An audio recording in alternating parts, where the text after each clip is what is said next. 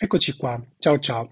Dunque, come vedete non sono in auto, ma oggi vi parlerò di una cosa che riguarda comunque le nostre bellissime Cupra Formentor, e cioè l'app Cupra Connect. Nota dolente eh, del mondo Cupra, ehm, forse non solo, perché riguarda un po' anche la gestione dei servizi eh, del mondo SEAT, e molti utenti lamentano il fatto che non funziona bene, che sia veramente molto lenta, addirittura per alcuni crash, eccetera.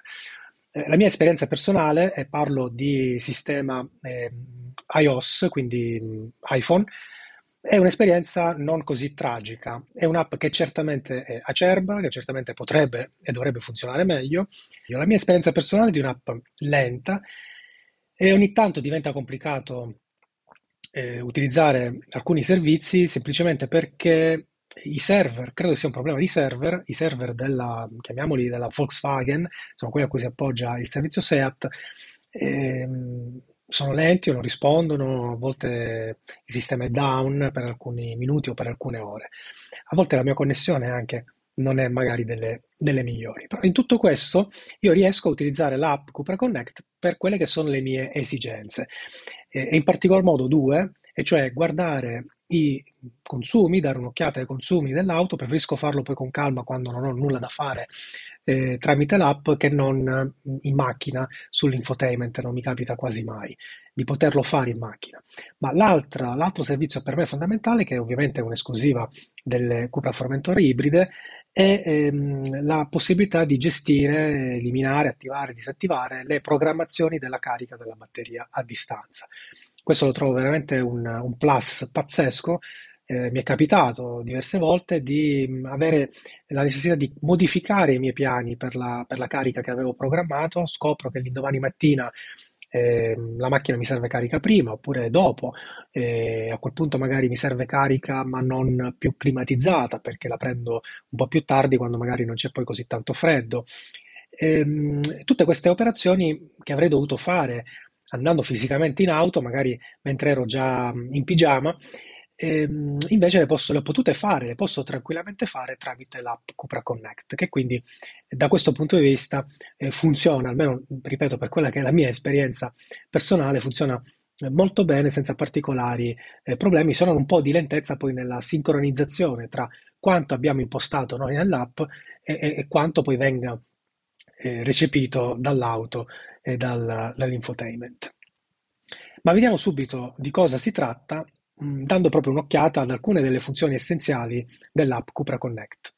Dunque apriamo la nostra app Cupra Connect e eh, attendiamo. Ecco, questi sono quegli aspetti che dicevo, insomma, di una certa lentezza dell'app rispetto alla nostra esperienza con, con altre app un po' più fluide, un po' più veloci, però ecco, in pochi secondi si è aperto ed ecco qui i dati relativi all'automobile con l'autonomia eh, di carburante benzina e la batteria 100% carica, l'auto è stata caricata di notte, non è stata ancora utilizzata.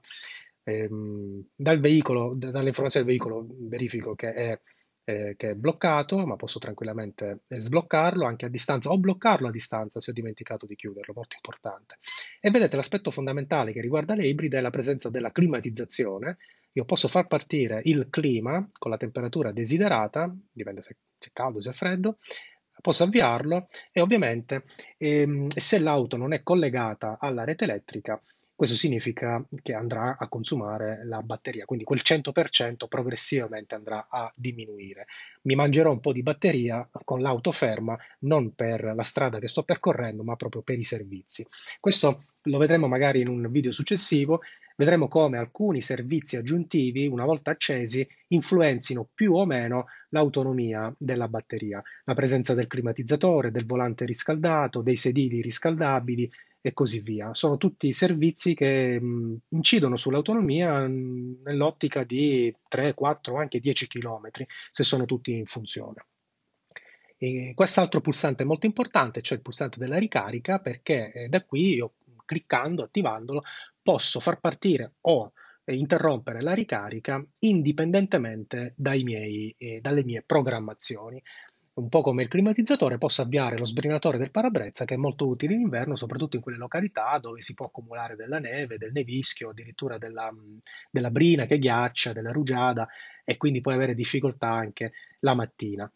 E, avvisatore acustico e lampeggio posso attivare o eh, o soltanto il lampeggio o anche eh, l'avvisatore acustico per alcuni istanti si interrompe in automatico e questo serve magari o per mm, so, far allontanare qualcuno che vediamo che insomma, si sta magari poggiando sulla nostra automobile, oppure in realtà il servizio per cui è pensato è per ritrovare la nostra automobile magari in un parcheggio perché non, non ci ricordiamo di preciso dove l'abbiamo lasciata. Altre informazioni importanti, qui abbiamo due pannelli, due puntini, quindi possiamo scorrere il, il pannello e qui abbiamo i segni di spunta se tutto è a posto, se invece abbiamo dimenticato le porte aperte, dei finestrini aperti, eccetera, a questo punto magari troveremo un punto esclamativo rosso al posto del segno di spunta eh, verde. E devo dire che anche in questo caso a volte l'app è un po' imprecisa, ma è un problema di, eh, credo, di mancanza di sincronizzazione. Cioè a volte mi è capitato di avere l'auto perfettamente chiusa, finestrini chiusi, ma una segnalazione di errore. Sono andato a controllare e effettivamente la macchina era a posto. Cosa era successo? Probabilmente tra, nel momento della chiusura eh, dello spegnimento e della chiusura eh, non è avvenuta una sincronizzazione perfetta tra l'ultimo stato che la macchina invia ai server e quindi quello poi reale che invece eh, corrisponde alla realtà materiale, la macchina è chiusa, però i server non hanno ricevuto quest'ultimo aggiornamento, quindi da questo punto di vista ogni tanto, voglio dire, è, è abbastanza raro, è eh, niente di, di, così frequente.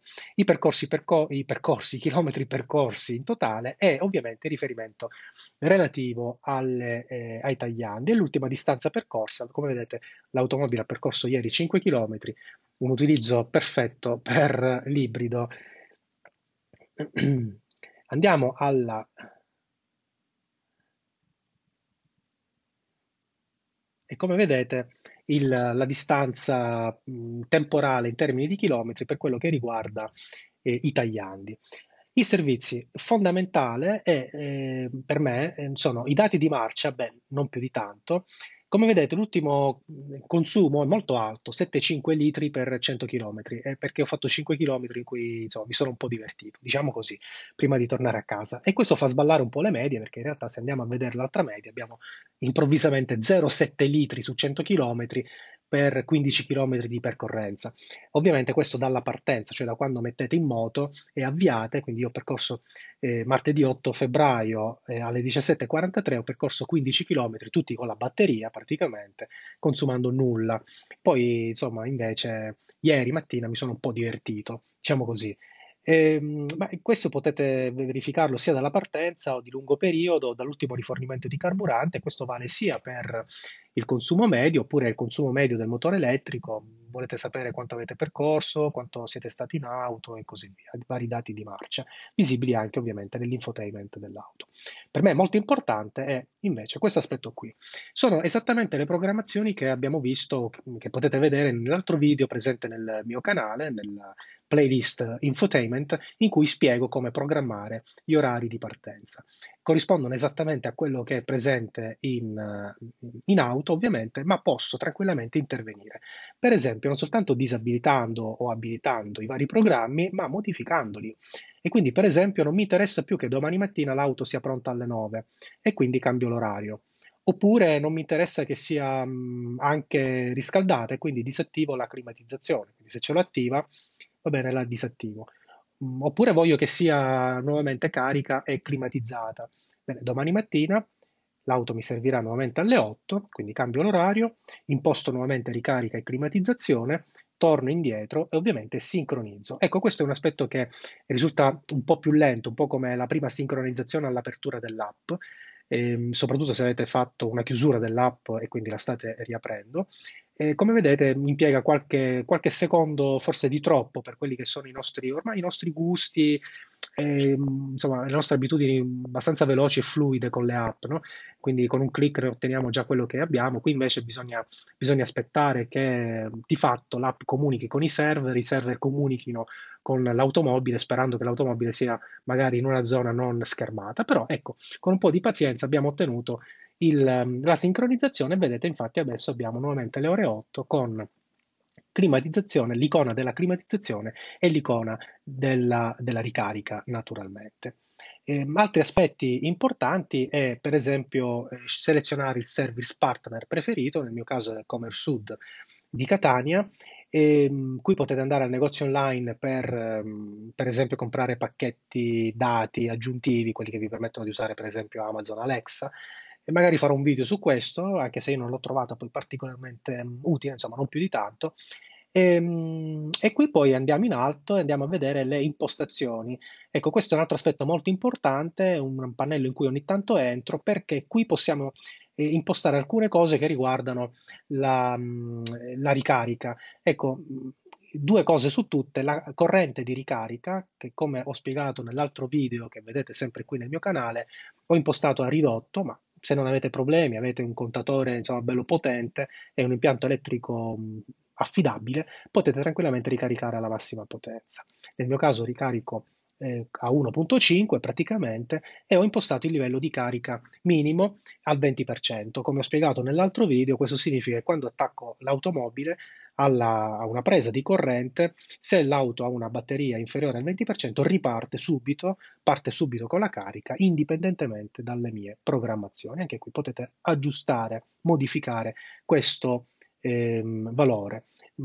Però per il resto trovo che l'app, almeno per quelle che sono le mie esigenze, e cioè impostare eventualmente la climatizzazione, bloccare e sbloccare l'autoveicolo e soprattutto gestire a distanza eh, le partenze, le programmazioni delle partenze, l'auto funziona molto bene. L'ultimo aspetto, questo ovviamente siamo nel pannello veicolo, nel pannello account, eh, ovviamente qui potete eh, gestire le altre impostazioni, per esempio quelle relative alla al tipo di mappa che andate, andate, a visualizzare. Vediamo la mappa e qui vediamo subito dove si trova, dove mi trovo io, il puntino, il puntino blu, e dove si trova casa mia, eh, insomma, più o meno, ecco, ovviamente in base agli indirizzi e alla geolocalizzazione, dove si trova l'automobile che effettivamente è parcheggiata proprio lì. Bene, questo è quanto riguarda il, mm, le, le funzioni, alcune funzioni ovviamente di, di base, quelle che io utilizzo di più nella mia esperienza quotidiana, anche se non utilizzo l'app in realtà tutti i giorni, mh, dell'app Cupra Connect. Ecco, spero che vi sia piaciuto, spero che questo video quantomeno sia stato interessante e utile per um, il vostro utilizzo e magari commentate um, con delle storie e delle esperienze diverse in merito a questa, a questa app, scoprire eh, se funziona, se non funziona, cos'è che, che, nel caso vostro specifico magari non va proprio, eh, oppure suggerimenti su altre cose che vi piacerebbe vedere a proposito della nostra bellissima Cupra Formentor. Ciao ciao!